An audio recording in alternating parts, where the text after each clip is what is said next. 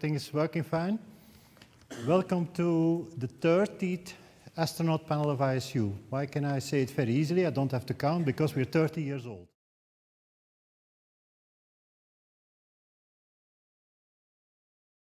Certainly here. So every year we try to find a number of astronauts, by preference which have a link with ISU, uh, International Space University. I will be the moderator today. Uh, my name is Walter Peters. I'm the president of ISU, but in a previous life, long time ago, I was also involved in astronaut business for many years at the European Astronaut Center.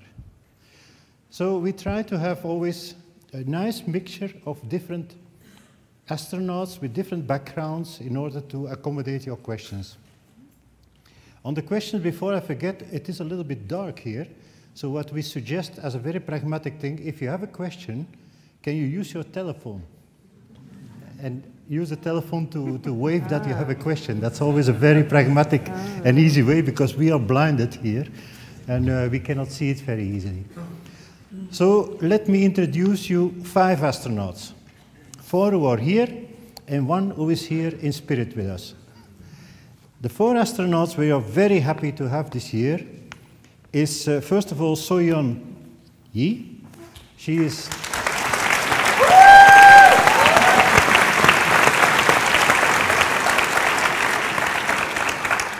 She's a biotechnologist by training, uh, was also at the same time the first Korean, and of course the first Korean woman who flew in space. She made one mission to the uh, uh, Mir station. Afterwards, she also made an MBA so uh, I think she's going to change her career now very soon. uh, what is the link of Soyeon to ISU? It's very simple. Uh, Soyeon is an alumnus. She was sitting where you, most of our uh, participants, are now sitting a few years ago in 2009. She did the SSP. So that's a very obvious link. The second uh, lady I would like to uh, present to you is Nicole Stott.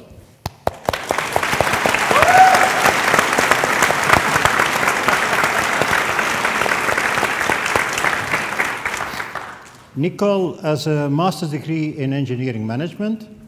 She did uh, two space flights to make it relatively short. I would say one shorter one with a shuttle, and then a long duration space flight to the International Space Station. Nicole is also known as the artistic astronaut. Why? I think, as far as I know, you were the first astronaut who were painting in space.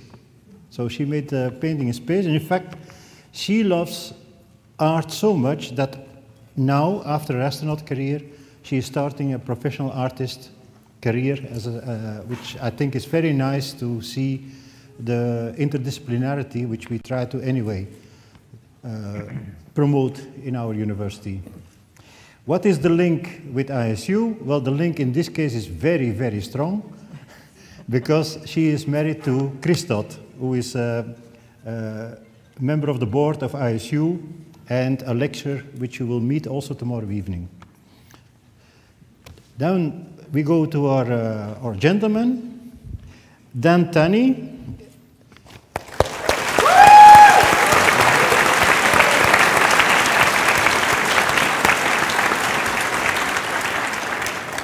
a bit of a similar uh, profile as Nicole, two space flights uh, after uh, obtaining engineering degrees.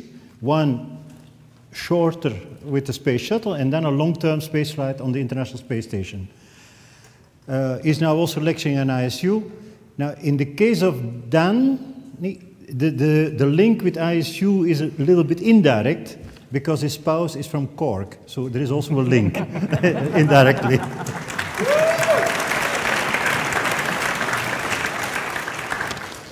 and then we have uh, uh, an astronaut who has done us the pleasure many times already to be in the panel. We're very grateful for that. Uh, Bob Thirsk from Canada.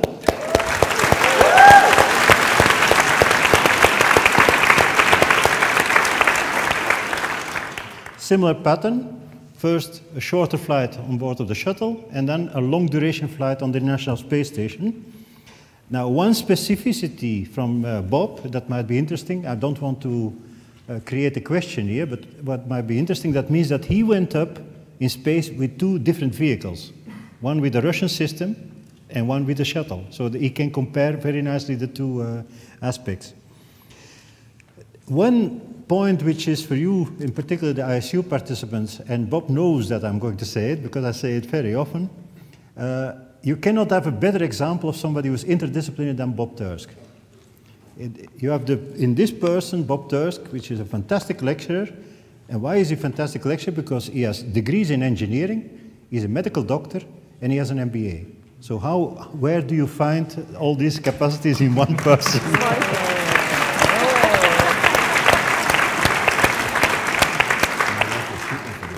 of course, every event, and I, I should not forget that, every event is only possible by people helping us, people sponsoring us, uh, there are many. I just want to highlight two. Uh, first of all, because of the 4th of July, special day, thanks, we thank the American Embassy, who is uh, sponsoring this event partially. And I would also like to, uh, I don't know if uh, our main proponent is here, I would like to thank the County Council, Mr. Ford, if he's here. Mr. Ford, thank you very much. We heard a lot about about your, uh, your very appreciated uh, participation. As I already announced, there is another astronaut who is not here because due to, as you know now from the lectures, probably from uh, Bob Thirsk also, he is in what we call the profilactorium in Russia. That means the place where you have to be a while before you go to space. So he will go soon to space. He wanted to be here. His name is Paolo, Paolo Nespoli is an ESA astronaut from Italian uh, origin, so an Italian nationality. He flew already two times, once with the shuttle, once with ISS, again, same pattern, so there is a sort of continuity in the pattern. And for many, many times, he was at the astronaut panel representing uh, and, and answering questions. He really regrets that he cannot be there. However, his next flight is on the 28th of July, so that's a little bit close for astronauts to travel around in the world. So he has to be uh, still in Star City. However, I could convince him to make a message, which we videotaped. And uh, as I already said to Niall and my friends, and maybe also to you, Mr. Ford, I would draw your attention to the end of the video because there is a very nice surprise for CIT and Cork in the video. Can we have the video at the moment?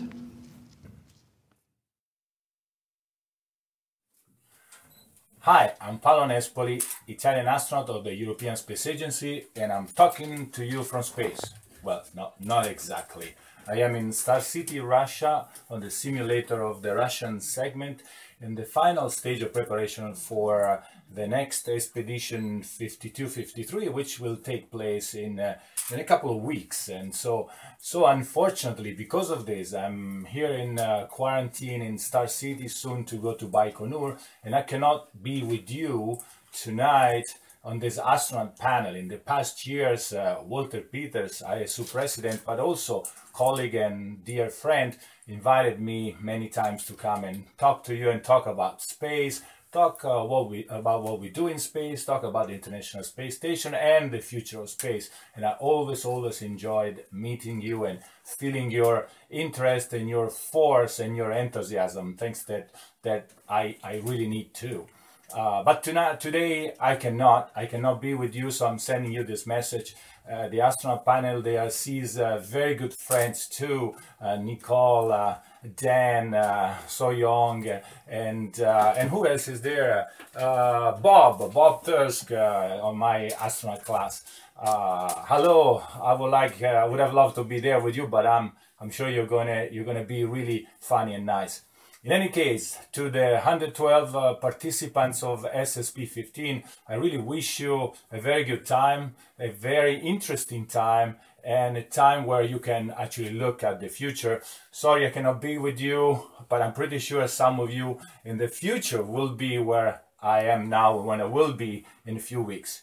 Uh, one thing I, uh, Walter Peters sent to me to bring in space is the beautiful uh, uh banner and flag of uh, the city of Cork and the Cork Institute of Technology and of course the one of ISU. These are just pieces of paper because the real flag are already stored in the vehicle ready to go to space.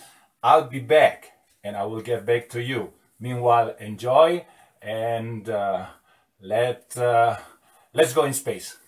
Ciao.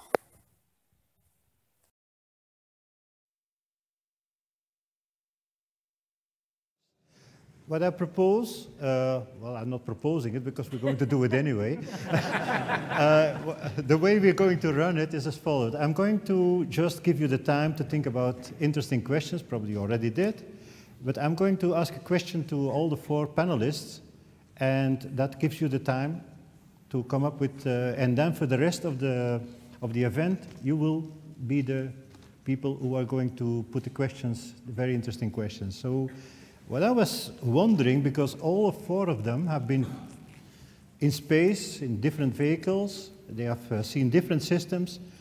So I, I wondered, what do they think uh, will be a big, big challenge if once humanity wants to go to Mars? What will be the big challenge for the astronauts? Soyeon, what do you think? whenever I got on the question, would you really want to go? Answer yes. And then one day my mom literally hit me, no. so biggest challenge of mine is of course my mom. but next is, I think most of, biggest challenge would be kind of mental readiness because we've never done that long duration flight before, even if we're watching the movie and everything. And of course, a lot of people is ready for all long duration flight, but maybe first person would be hard time to get through all long time to get there and then touch and then coming back because all we astronauts are a little more accustomed to have a right communication with the Earth. Whatever happens, we can have communication right away. Even if we have a delay several seconds, in, under this technology, we cannot even bear the one or two second delay, but into the Mars it will be longer. And whatever happens, it's harder to rescue them and then bring them back. Of course, through the brain we know, because when we watch the movie, they let us know. But once we face it, maybe we would feel totally differently. So I can think of those things first. Nicole, is that also your perspective? Or? Uh? Well, I, you know, I think I'll follow along with that because I remember before flying the first time, which was going to be my long duration flight. And I remember being very um, diligent about preparing the, um, the technical side of things that need to come. I want to make sure in my, my notebook I had all the things for when I was going to capture the HTV, mm -hmm. and we had all of that information, you know, the, all the technical side. And I have this very vivid memory of uh, one of our ground support team um, people who, wonderful. And she, she reminded me, she's like, Nicole, you're going to be up there for, you know, several months. You know, what, what are you thinking you'll do in your spare time? And, uh, and, you know, I thought, well, you know, there's stuff to do. I've been looking out the window, taking pictures, you know, talking on the phone to my family, which, you know, won't necessarily be able to happen when you're traveling to Mars, at least in a timely way. And that's when um, this whole idea of the fact that you're living and working there. Mm -hmm. uh, you're not just working there, you, you are living there. And to me, uh, I think for that mission I did, this, you know, ultimately I brought a paint kit and I painted and that, that became something very different to me in that, in that environment. Uh, I think those same kinds of things are going to have to be considered when we're flying, you know, nine months to uh, another planet, when we're there for some extended period of time, hopefully not just touching coming back, and then, you know, the return trip. Because to me, as soon as that Earth goes out of view, it's going to be a very, very different experience to what we and all of human spaceflight have experienced so far. And I think we need to be very aware of ourselves and how you know, what we enjoy, how we'll figure out to communicate with our families, how we'll spend that free time, because there will be a lot of it, mm-hmm. you know, in that, in that time to Mars. It's correct, uh, correct. Dan?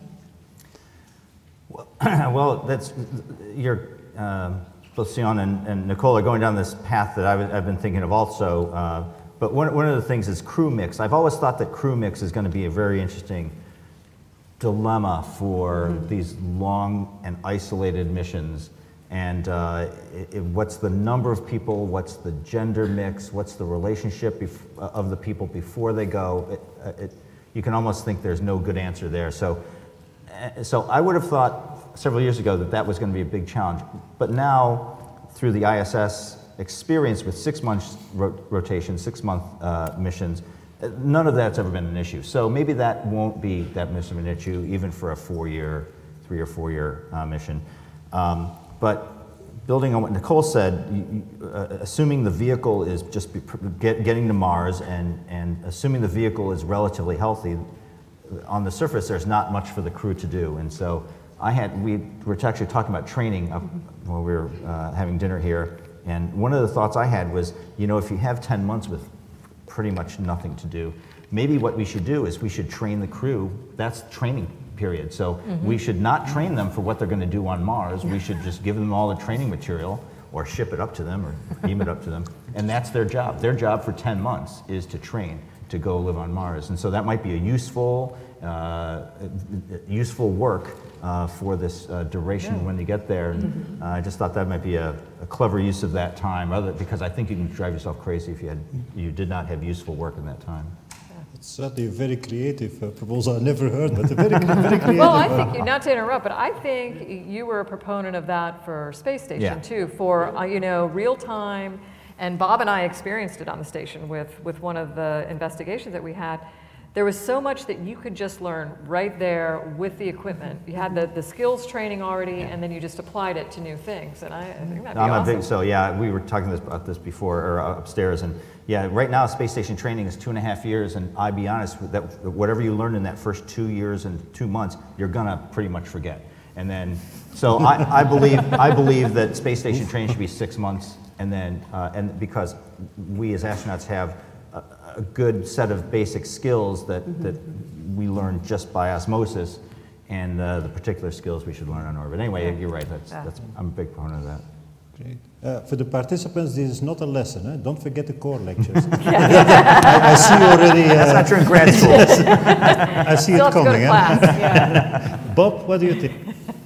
Well, I think this new era of human space flight is going to be absolutely incredible. And uh, when we go to Mars, it's going to be the story of the 21st century. It's going to be a phenomenal, phenomenal year when that happens. Uh, being a medical doctor, I think about some of the medical obstacles that are, that are out there. And um, there's a number of issues that we have to get more serious about, and one is ionizing radiation, like X-rays and gamma rays. Uh, X-rays, of course, are exposed to high fluxes, can um, damage DNA, damage the cell matrices within, within your body. And, um, you know, like when we live here on Earth, uh, we measure um, radiation dosage in a unit it's called sieverts. So here on Earth, we- we're exposed to like 5 millisieverts per year. It's negligible just from natural sources. Uh, where we fly, 400 kilometers up, it's higher dose, so it's about three, 300 millisieverts per year. Uh, the Mars mission will expose uh, those crew members to at least one sievert, or 1,000 millisieverts, on a, on a round trip, on, on a good trip. And if, heaven forbid, uh, there's a major solar flare that occurs during that trip, it could be uh, five sieverts.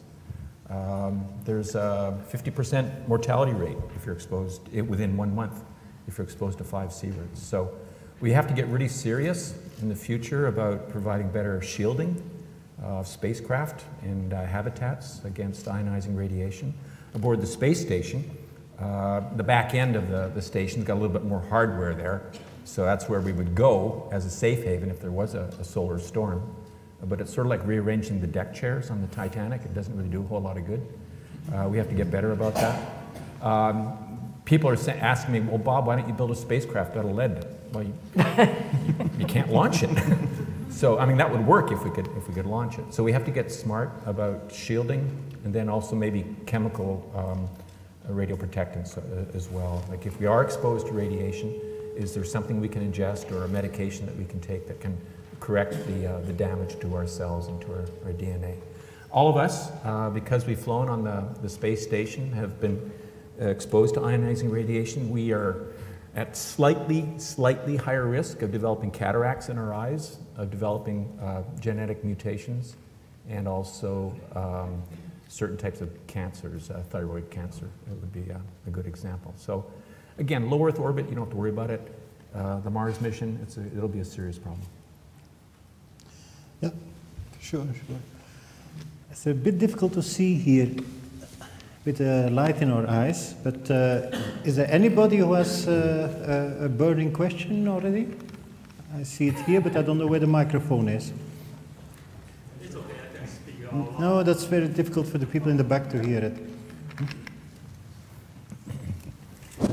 Yep. Um, so, uh, Madam, sir, uh, I have one question particular in training, especially uh, talk about training in Mars. So, uh, my question is actually during your long duration of astronaut training, is there any uh, most important or remarkable training you have done? And also, especially to them, what sort of training do you think is most appropriate to be trained like in the outer space, such as Mars? Thank you. I don't have to pick somebody as it was to you, Dan. Uh, if I if I remember and understand your question uh, correctly.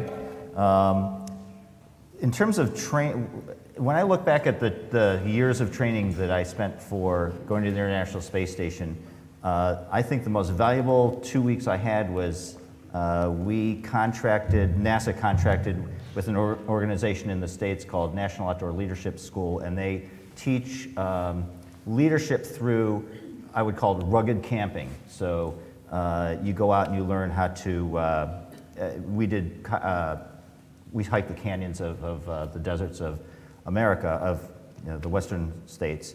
And um, it, was a, it was so interesting and to, to, first of all, to do the hiking and to rely on each other as a team. And also, they have a curriculum of leadership, and we learned about leadership skills and what it means to be a leader and, and all those things that was so valuable and still continues to be valuable in my career and my life. I, I, carry that with me. The other training we get, which is technical training for space station, is uh, uh, useful and it's good to know the voltage that comes out of the solar arrays. It's good to know how the computers are, are networked together.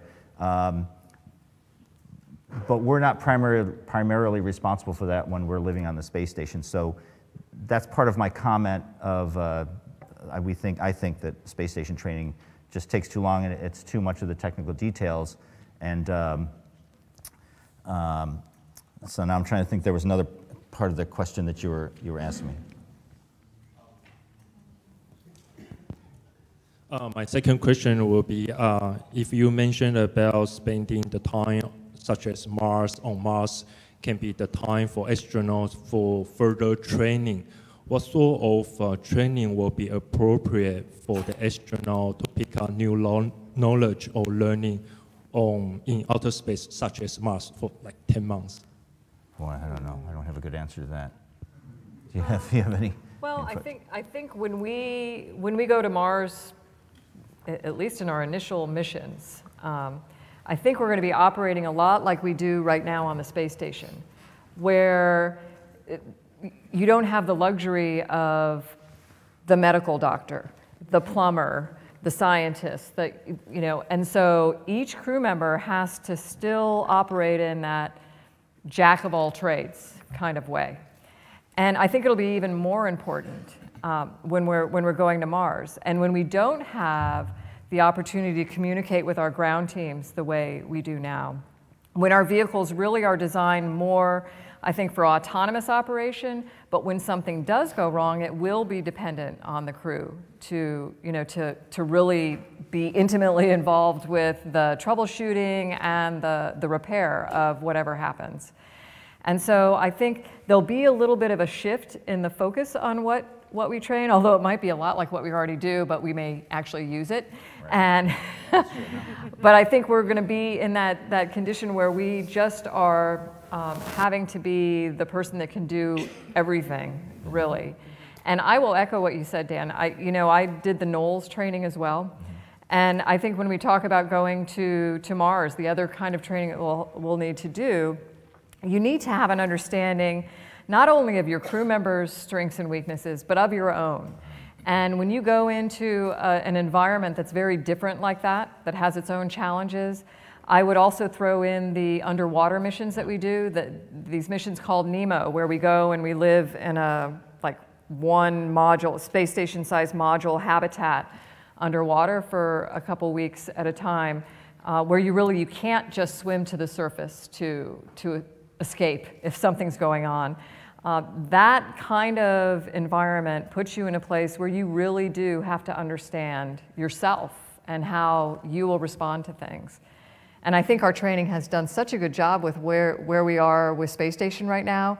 Bob and I flew together, and I thought one of the coolest things was when we had one of those middle of the night alarms go off, and we all flowed out of our crew, our crew compartment, and it was, it was almost like magic that everybody was responding in the way we had responded on the ground to emergency training. And, you know, Bob was on the, the comms, and Frank was on the procedure, and we made sure everybody was where they were supposed to be. And it's really neat to see how that can work, even in a, an unusual environment like space.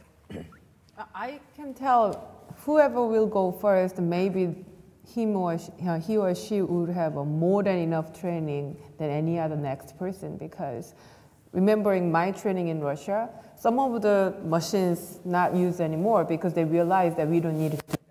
But first generation of astronauts, they do all of that. And, uh, and I feel so envious is uh, until me, we did a rotating chair thing and I throw up every time.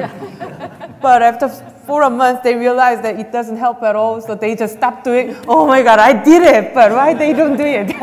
so maybe first Martian astronaut would have much more training than necessary because we don't know what happens. So maybe we want to have a backup and backup and backup thing. So he or she would be have a really hard time for training, I believe. Yeah. By the way, may I also encourage the the guests here, not only the participants. You, you feel free also to ask questions. It's not only for the participants, for all of us, eh? and for all of you. Do I have another question? I see, I see a lot of lights. lot of yeah, I, I think I'm, I think I, may, I didn't make a good remark with the with the telephones because it looks like. Uh, so uh, I don't know where the microphone is. There are a few lights here. We can't see anything. Yeah, all the way back. And at the end. So can can we bring a microphone to one of the lighting people? While we're waiting for that question too, I got to follow on with Soyeon because yeah. um, being trained for more than what, what you think you'll need. What I always loved was the line uh, when we would ask the question, um, well, don't we need to have, know, know, how to repair this or to um, manipulate this valve or whatever it was? And so, oh no, you, that will never break and you'll never have to touch that. and I don't know how many times we had to get behind a pa panel that you never ever were supposed to have right. to get behind. and when you think about not having the ground to communicate with about something like that, it'll be really interesting. Yeah. Where's the microphone? Yep. Hi everyone. Um, my name is Marcel, and uh, I had the honor to meet Nicole and her husband Chris 10 years ago at a program called International Space School. Yeah. And um, I'm very honored to be here tonight, uh, taking part as a participant uh, at SSP. And um, I would like you to expand on the importance of STEAM education. Also, the others uh, can join this question. Thanks. Bob, you were silent on the previous question. What uh, yeah, so that, you were meditating. The, yeah. the question is um, to expand on this uh, type of education, style of education we call STEAM uh, science, technology, engineering, arts, and, um, and math. Um, the, the foundational pillars for International Space University are something we call the three I's. So, international, intercultural experience, and interdisciplinary. Uh, I'm a strong, strong believer of this kind of uh, education because number one, it's experiential, it's hands on, and it's bringing people from dissimilar uh, backgrounds together to address problems. So the cutting edge, innovative teams today are cross disciplinary. So we all have one of these things here. It's engineers, it's uh, social uh, sociologists that came together for, um, for this, it's mathematicians, it's artists, uh, it's lifestyle uh, designers that came together to design this. The greatest innovations in our nation are uh, based on cross-disciplinary teams coming together. I could have given this task to a group of engineers, the solution would have looked quite a bit, bit different, and I don't think quite as, uh, as useful. Um, the same thing in spaceflight as well. When we talk about uh, going to Mars, think about the habitats. We can build a habitat uh, based on uh, design inputs from just architects, but if you also get in the, the people from a sociological perspective, get in the engineers, get in past astronauts who have uh, already flown, uh, get in the medical specialists as well. You come up with a better solution.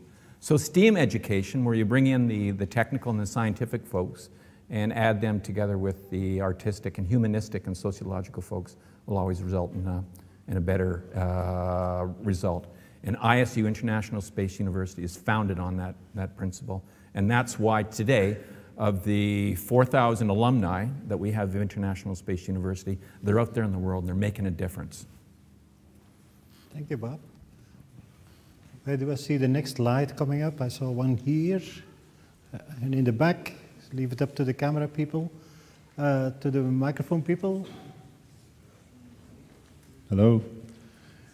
Sorry, the question relates to, you know, for thousands of years, people looked up in space for generations through mankind, and you guys get the opportunity to go up and look down. Not too many get that opportunity. And I'm just wondering, from a personal point of view, did it have a moment when you were reflecting, looking out that window, where something in your mind, you just suddenly realized how fragile we all are? Or was there any, you know, big change in your attitudes to, you know, different things down in Earth? Nicole, I think you already mentioned that, uh, that it, it, triggered something in your mind. Uh. Yeah, I, I think uh, I, I will not speak for the other three people or even for Paulo, um, who was with us earlier, but I have to believe that every single one of us has been um, impacted in some way by this experience. I would say positively impacted um, by this experience. I know that uh, before I flew, I had, I, I think I had this idea in my mind what it would look like, what it would feel like, really, to, you know, to see our home planet from space. And it's just like launch. What I thought maybe ended, it was here was like, you know, more than I can extend my arm.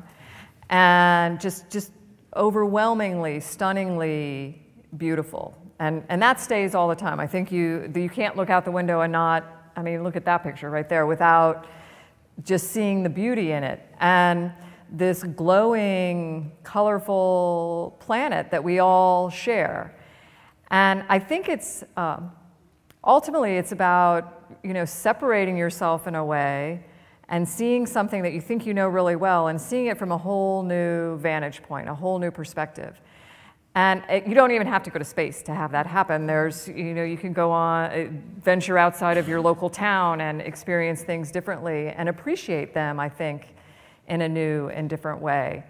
And for me, it really comes down to seeing Earth as this place that we all share, um, understanding even more that we're responsible to the planet, you know, for its, its survival, which is ultimately about our mutual survival here on it. And, uh, and I could talk all night about this subject, but I, I, really believe that that's inherent to the, to the experience. It's, it's inherent to separating yourself from something you know, that you think you know really well, and seeing it from a new perspective.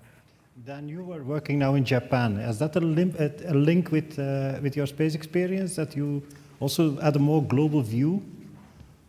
Uh, well, that's, that's interesting. Uh, so let's see. First, to add a little bit to N- Nicole's comments, I, uh, uh, if, if anybody was at my lecture last week, uh, the message that I tell after my experience in space is that you know we all have associations and loyalties in our life to our town and to our school and to our and so we feel different citizenships. And my overwhelming sense coming back to, from space is that uh, my the top priority is now I'm a citizen of this planet, and it, it overwhelms my my sense of citizenship to other associations. And I wish that every I wish I, that many other people could share that. And just to look out the window, it's hard to not to, to feel that. Um, the, I guess it's actually building on what Bob was talking about, uh, inter, international and uh, uh, the, the value of, of uh, intercultural. Um, uh, about a year ago, a little bit more than a year ago, Uh, I've, my wife and I talked about the importance of getting our children a different perspective on life. We were in a very comfortable life in, in America, and uh, uh, we've, we both felt that it would be very valuable for us to be someplace else in the world for a while, and so we uh, created and took an opportunity to go to Japan and, and live outside of Tokyo in a, in a house one fifth the size of our house in America, and uh, uh, take trains and bikes everywhere instead of driving. And it's been a great experience for us, and uh, hopefully, my children will feel uh, uh, not unicultural, but multicultural, and then uh, that I, I, can only think that that will help them uh, develop that later in their, their lives. So we're, we're really enjoying uh, being in Japan and, and exposing our children and ourselves to, to another culture. Uh, thanks for that intercultural perspective, uh, Soyeon. Yeah, actually, I got a question when I looked down to the earth first time in my first time in my life why I was born in that country. That was my first question because I grew up in South Korea, and then as a person who grew up and always lived in South Korea, I believe South Korea is not that small. But once I go up and I look down to the earth, I'm waiting and waiting and waiting until I could see the South Korean peninsula. And finally I see it and then drink, I grab the photo, bring it back, and then ready for camera already passed there. so, and my Russian friends right next to you, oh, PD Soyeon, and you should wait another 90 minutes to take a photo of your country. And I realized that, oh my God, such a small country I was born and grew up, but I thought like that was my whole world. And next question is, then why I was born in there as an engineer, as a technical people, thinking about probability to be born in some place all around the earth. And then to be born in South Korea is a really, really, really low probability, even lower probability to be an astronaut among the 36,000 people, right? So, wow, why and how? And then right after that, I'm so grateful to be born in there because what if I were born in the middle of the Afghanistan? What if I were born in the middle of Africa? What if I were born in, in the middle of the China? Or what if I were born in the middle of Kazakhstan? And then my, maybe my life would be totally changed. But I didn't do anything to be born in Korea. but I was born, it's not fair if there's a kids who were born in the middle of the Afghanistan, how, how unfair it is to be born in there because she, he even doesn't do anything for that. So I have a huge regret right after that. Oh my God, I've never feel grateful for that moment, even if there was the biggest game-changing thing for my life. And then after, what if I were born in that place, not in 1978, but in 1910, under the Japanese era, like my grandma?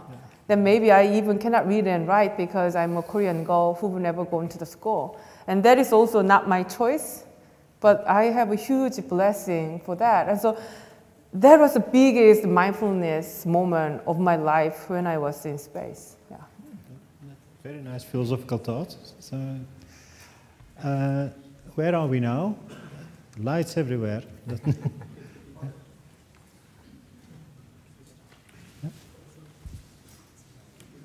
when you were in space, was everything black or did you see loads of junk like broken satellites and old space shuttles and stuff? Uh, can you tell us who you are and how old you are? That's a very interesting question. Yeah? Oh, um, my name is Kaylin. I'm 10 years of age.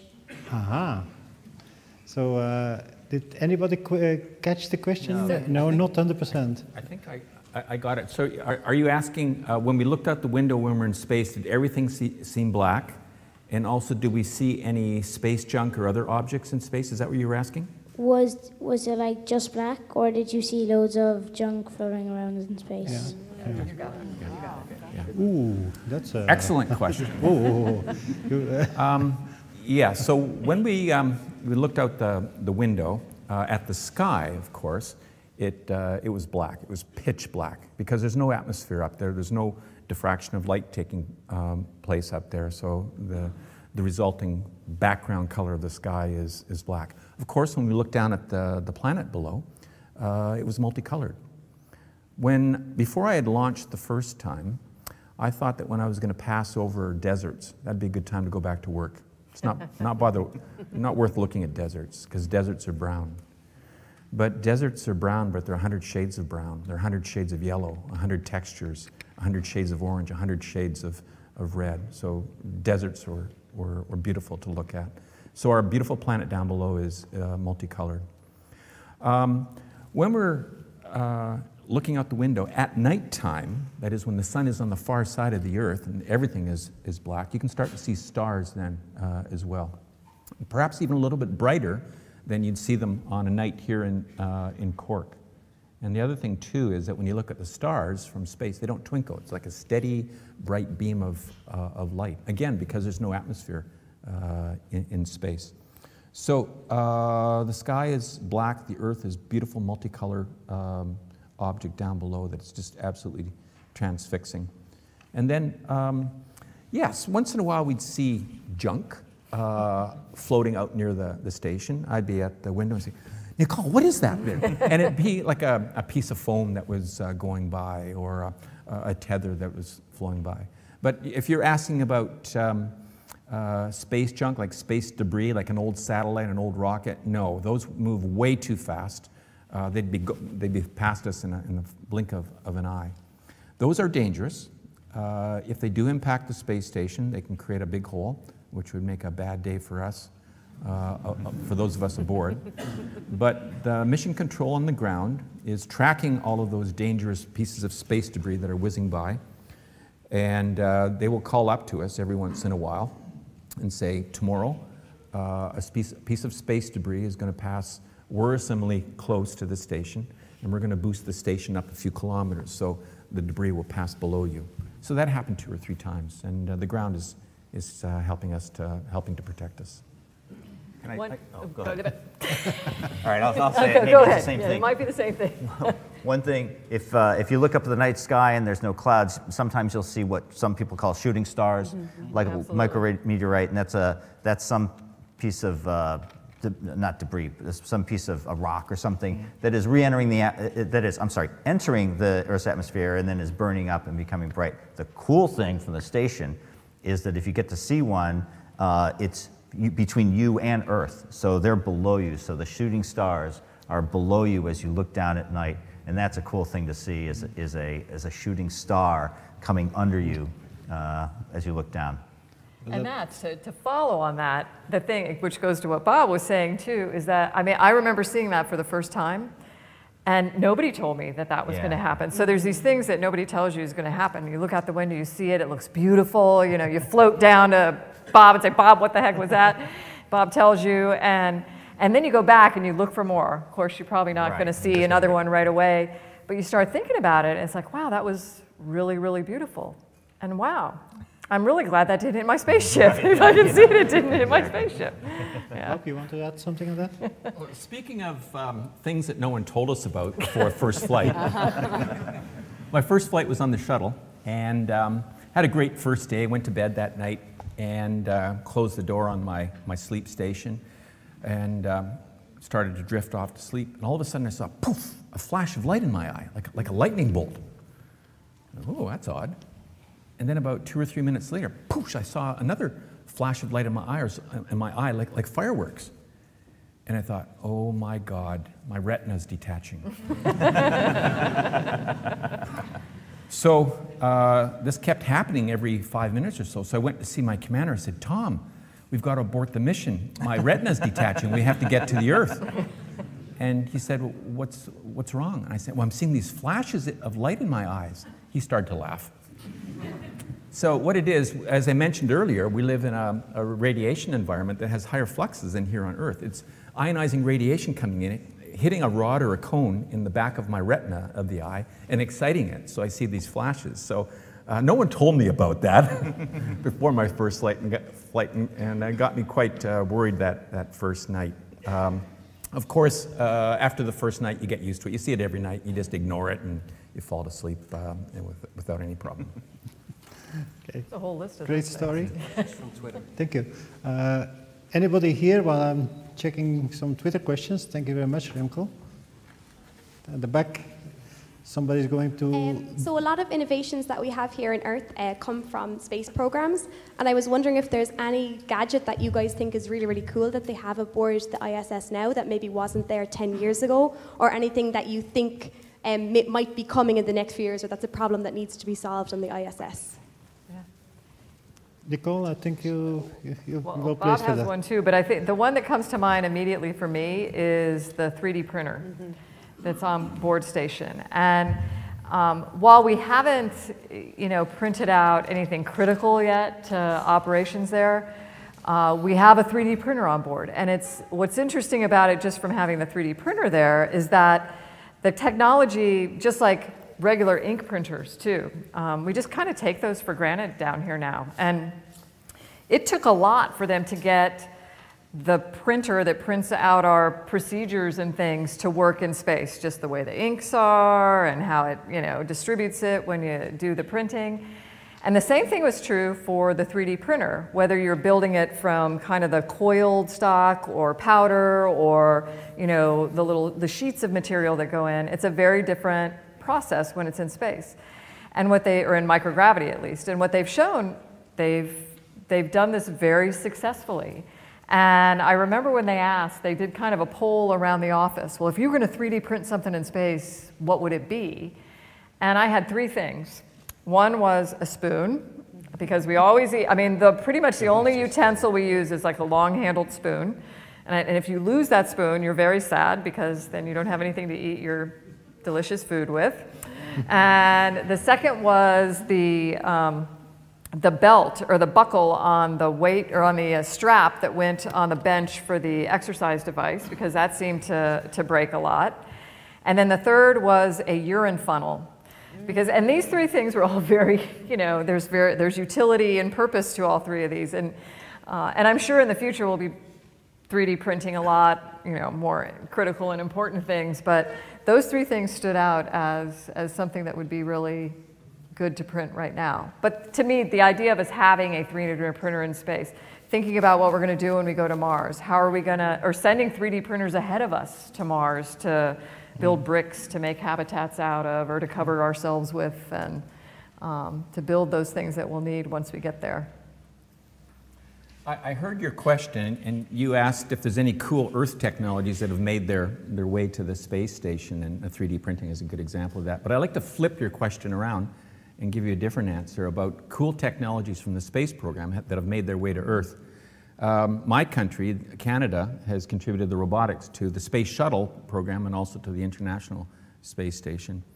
And um, my university, the University of Calgary, has uh, partnered with the manufacturer of the, the Canadarm, the, the robot arm, uh, called MD Robotics, with the Canadian Space Agency and a marketing company in, in a city called Winnipeg. And they've developed a NeuroArm, uh, a robot arm based on the computer algorithms, based on some of the gearing mechanisms of the uh, joints of the, the Canadarm, and also the vision system as well, to make a two meter long uh, robot arm that does neurosurgery.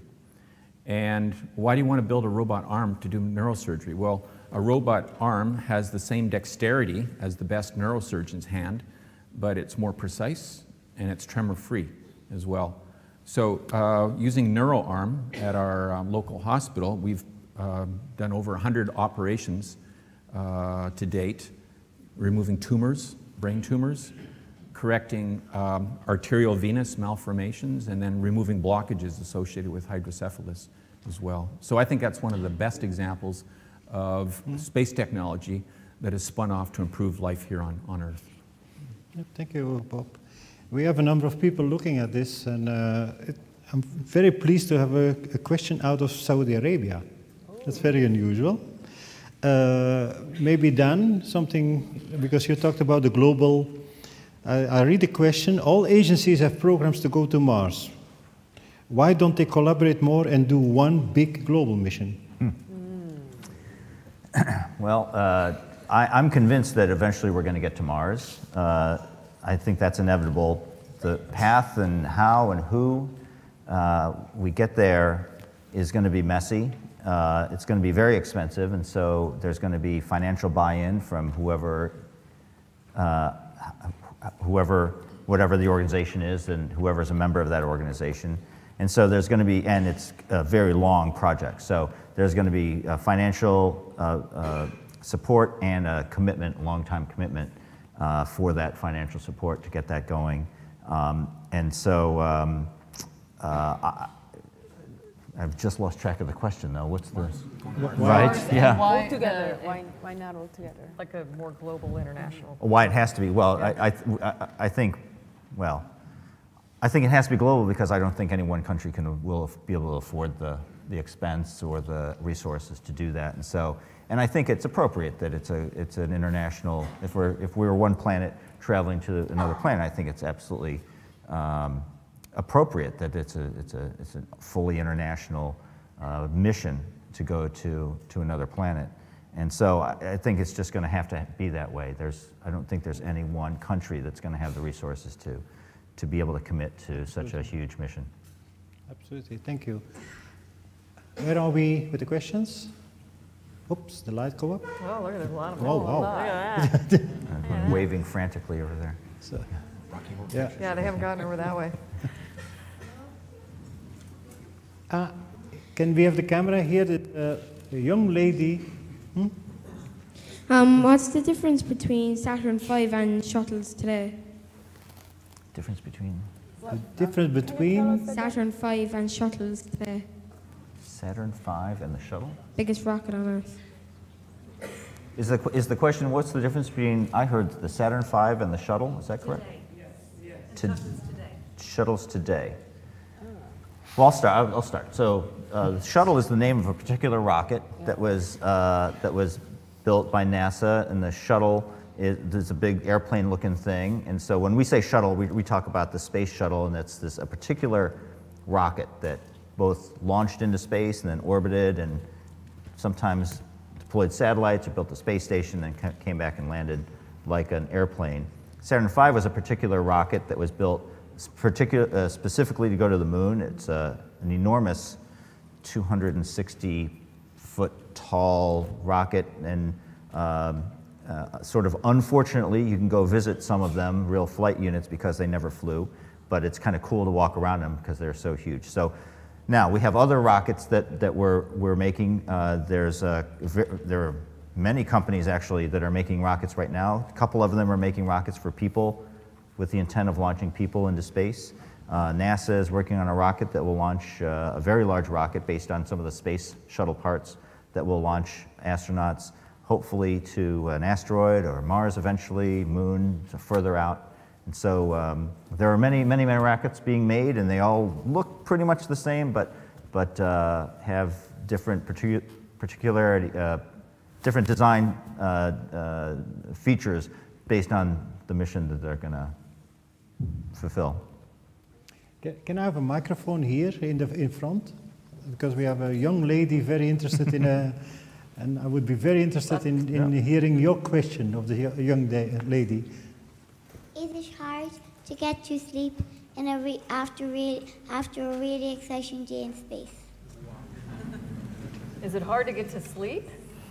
After a really Oh, after a hard really day hard day in space? Ah, Best sleep ever. Best sleep ever. Best sleep ever. So before Completely my agree. first flight, I worried whether or not I'd be able to sleep in space because uh, I am what I call a finicky sleeper on Earth.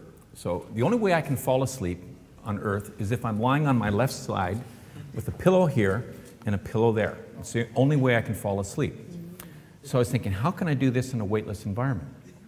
And the first night I got to space, you, you heard, heard me tell the other story, except for these flashes in my eyes, uh, I was asleep within 10 minutes. It wasn't an issue.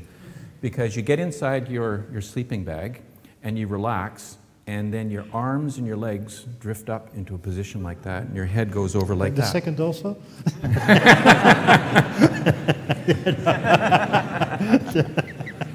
Um, what we need to do, though, is we need to put on uh, eye shades uh, because uh, coming in through the windows every 45 minutes is sunlight. We're orbiting around the Earth uh, every 90 minutes, so 45 minutes in sunlight, 45 minutes in darkness, 45 minutes in sunlight, and 45 minutes in darkness.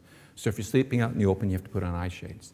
The other thing I did is I had to put earplugs in my ears as well because there's life support equipment, pumps and compressors and fans that are going all the time just to uh, give us a living environment, air to breathe, water to, water to drink, and that's very, very noisy. So I put earplugs in at night just to give myself some rest. But in this position here, just floating like that, uh, it's the most comfortable way you can sleep. Some nights, uh, I didn't use my sleeping bag. Instead, I would just cross my legs, cross my arms, put on my eye shades, and I'd float throughout the night. and it'd be interesting to find out when I woke up in the morning where I was. Because I might be upside down, I might be in a module two over, and I wake up and think, where is this? so it's, it's easy to sleep in space. Yeah. The, the, in the back, there is a lot of fanatic waving, so I think we better stop it and, uh, and give the person a, a chance. Um, so, my question is when you came uh, back off the spaceship, did, was there anything that you want to change about your life from uh, the experience that you had when you were in space?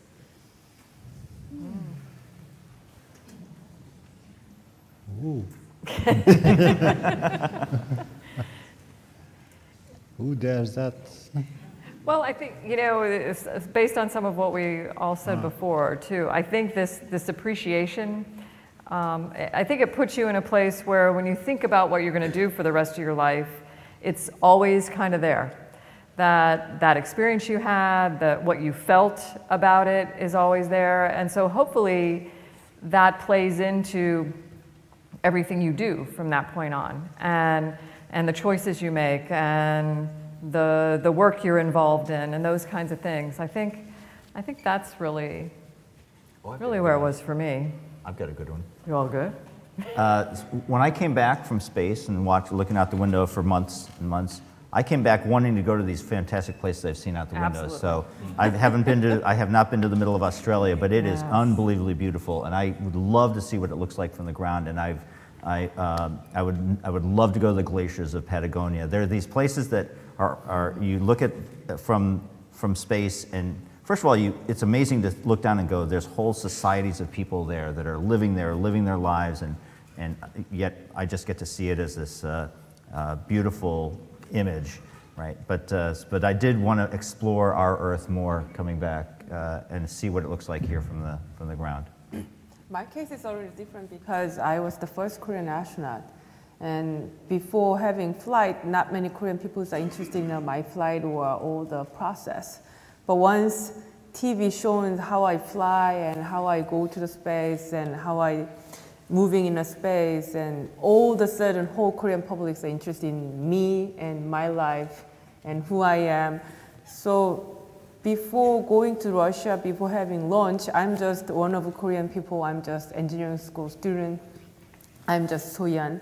But right after coming back, and everybody knows me, even if I have no idea who those people is. And when I entered to the Korean airport, opened the gate, and all the people was waving me and then screaming at me. But I thought like maybe one of the celebrity right behind me. was not me because I've never had those kind of experience before. And then hundred, hundred camera looking at me, and then even some airport security make a whole line and then make me go away. And then first my reaction, oh, it- it's not me. Maybe somebody is over there. Maybe some kind of huge poster over there. But I saw my mom is almost crying right over there. Ah, maybe me. So that of, of course changed my life a lot. And then, but more like uh, changing myself, I feel like people changing before and after than me. And then there was a kind of huge changing. And then personally changing is, as I told you, yeah, I thought how grateful my life is, how grateful I was born there, how grateful I was born in this time. And then in the space station, I keep deciding, oh my God, when I go down, I should be more humble. I should be more grateful. Maybe I should be more happy. Kind of like that. But once getting down and then face a traffic jam, I'm starting complaining as I did before. Almost like a people who every day complaining. And then I always think, okay, I should be grateful for any situation, how bad day I have. But once some journalists make me feel so pissed and I almost say F words and then I was not that changed. So I realized that, oh, I'm not that kind of changed even before and after. I'm still humankind, so yeah and that was I found. Okay. I think we take another two questions and then we have to uh, close. Oh, the panic starts. Way, way, way over there. yes, way that. over uh, there, all the way back. Ah, yeah, Oh, keep first. What you have to study in college? Um, what you have to study in college to be an astronaut? Uh, uh, I think, Nicole, you're, you're deep to the STEM, STEM uh, education. Uh, yeah? I, I think, first of all, you have to study something that you know you're going to enjoy. I think you really and truly have to pay attention to what you enjoy. Now, NASA or ESA or the Canadian Space Agency, the Korean Space Agency, or whatever country you're from will have some basic requirements on you. And right now, it's mostly like an engineering or a science or a medical, you know, a technical based degree. Uh, and then they have some criteria about how much work experience you've had, and of course, medical, you know, medical um, criteria. But really and truly, beyond that, it is wide open. And, and I love it. I have, I didn't put it in the slides tonight um, with the pictures, but I have a picture of my class uh, of astronauts. And we were selected in the year 2000, and we were the 18th group of astronauts, and there's 17 people in that picture. There's uh, so 17, so there's three women and 14 men in that picture. But every single person in that picture got to the seat in that picture in a very different way. Everybody enjoyed what they studied in school. Everybody loved the work they were doing um, after graduating from school. Um, this, this idea of being an astronaut was certainly a goal for them, but I can tell you, of all of those people, if they had never been selected to be astronauts, they would be happy people today doing work that they really enjoy. And it's because they paid attention to the thing that kind of what they had their passion for, what they wanted, what they were curious about and wanted to learn more about. And that, I think, opens up so many more opportunities for you than trying to fill like the checklist and do things that other people might, or that you think other people might think you need to do to be an astronaut. And so bottom line, study what you enjoy. Mhm. Very good advice.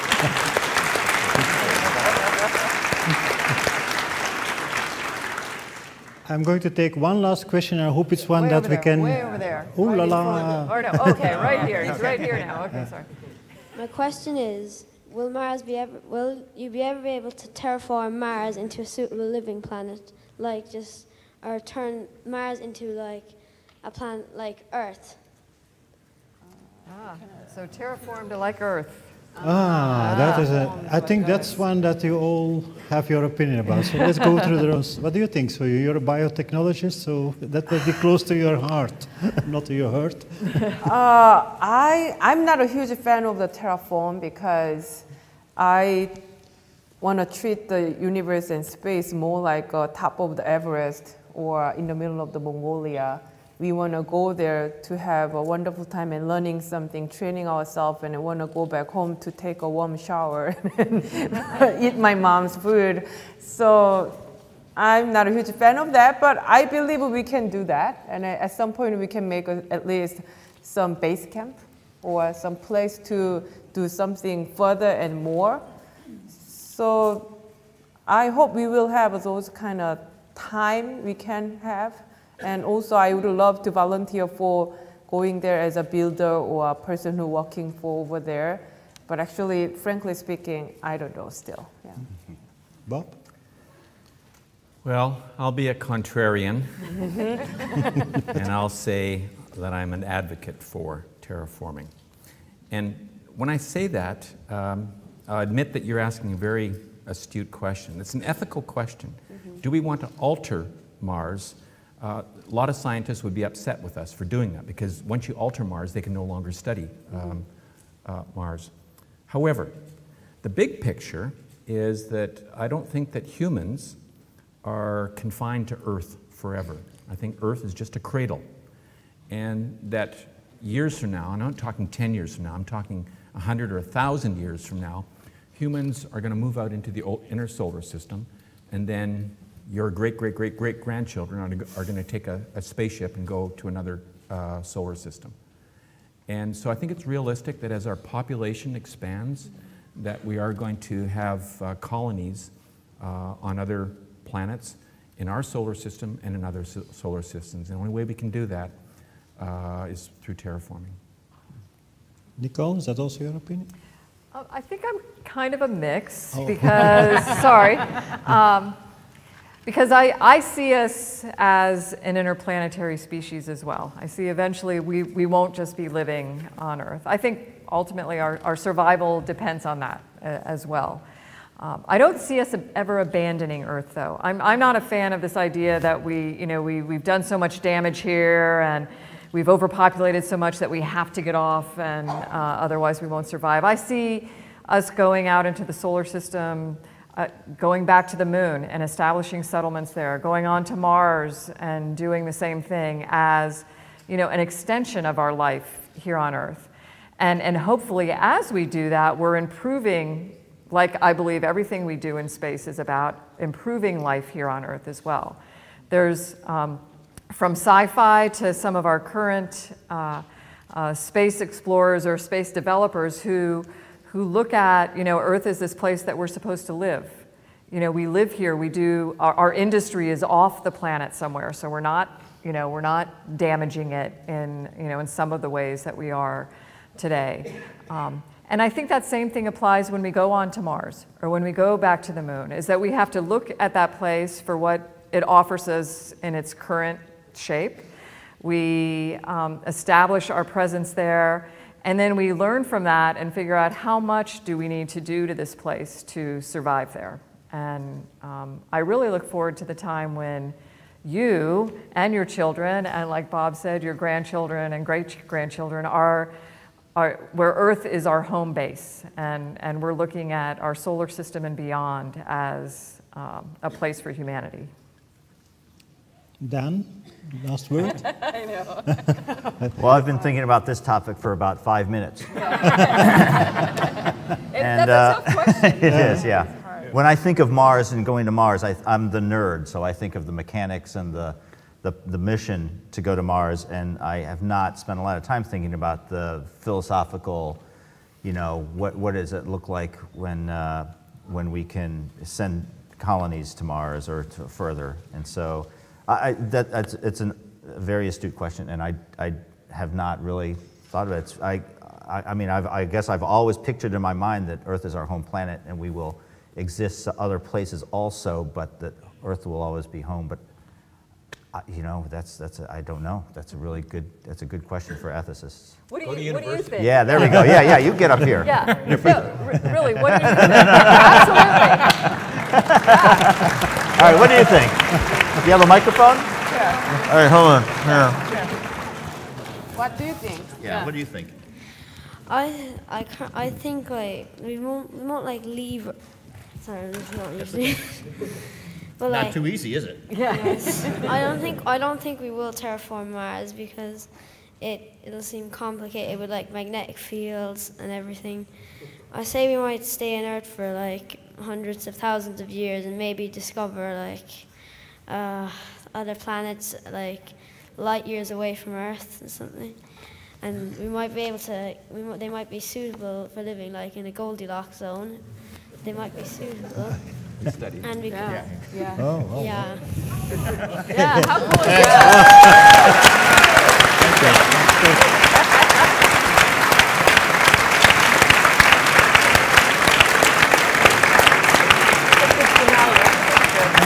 Give him a scholarship. Teach a class. As I, uh, can I at this stage, before we do a little other chapter, I would like to ask you to give a big applause to the four existing.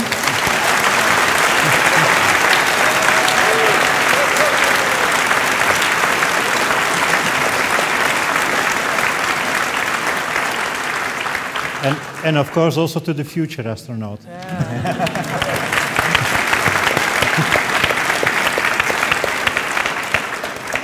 Now, a little, a little uh, award ceremony, to, to say so.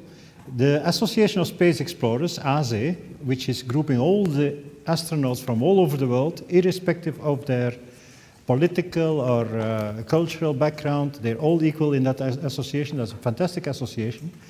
They, over the last few years, pick out a student from the class or a participant which they think is closest to their vision. Now, this year, I will, like in a really Nobel Prize award or a very high award, I will read their verdict. verdict. She has shown remarkable motivation and energy in the, in the Antarctic campaign at Concordia. Through her research, this outpost in isolation and darkness can be seen as a true analog to space, helping future spacefarers to better cope with the challenges of their journey. So, may I ask Beth Haley, the winner of this year, to come to the podium, please?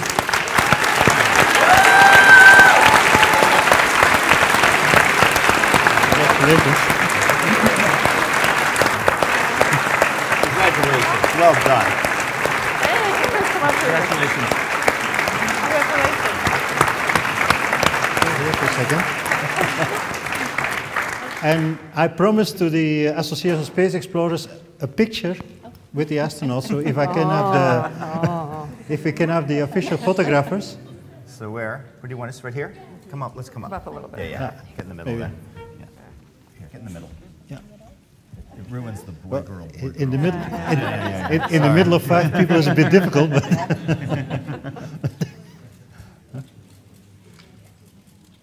Where's the camera?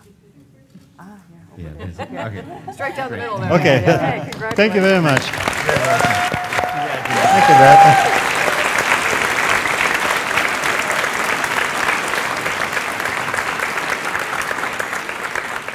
So with that, I would like to thank you all for these very interesting questions. I'm aware that there were plenty of other questions. Uh, maybe you have a possibility afterwards, uh, or maybe at Personam if you pass by. So I would like to close formally the astronaut panel, and I would like to invite all those who want, maybe they can pass by and uh, greet the astronauts or say a personal word. So the formal session is finished. If those who want to have a word with the astronauts can pass by here and uh, go to the other, uh, maybe if you st- Thank you very much.